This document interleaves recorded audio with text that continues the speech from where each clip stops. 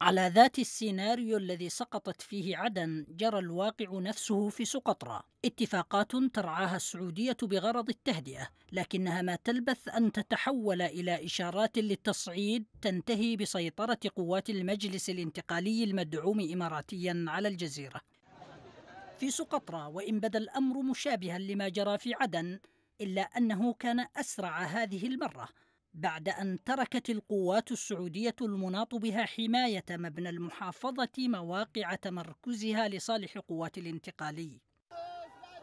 تصعيد الانتقالي وإكمال سيطرته على مبنى المحافظة جاء بعد يومين فقط من اتفاق رعته السعودية يقضي بضرورة التهدئة وتطبيع الأوضاع وعدم التصعيد في وقت فضلت فيه القوات الحكومية عدم المواجهة بعد تلقيها أوامر بذلك وفق مصدر حكومي سيطرة الانتقالي على مبنى المحافظة جاء عقب قصف مدفعي شنته قوات الانتقالي على مناطق متفرقة في المدينة انتهى بسيطرتها على مركز المحافظة.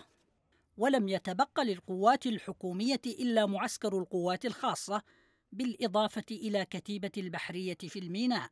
الحكومة وفي معرض ردها أكدت أن إصرار الانتقالي على إدخال سقطرى أحد أكثر مناطق العالم أمانا في الفوضى لن يكتب له النجاح. وفي إشارة إلى الإمارات قالت الحكومة إن هذه المؤامرة سترتد على نحر من افتعلها أو تورط فيها سواء بالدعم المباشر أو غير المباشر.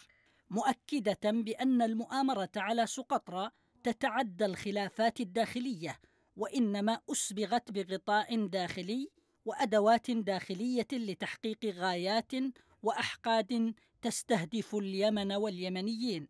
ومع كل ذلك يرى مراقبون أن سقطرى باتت ذاهبة ليس في فقدان سيطرتها على الأرض فقط بل وربما شرعيتها أيضا.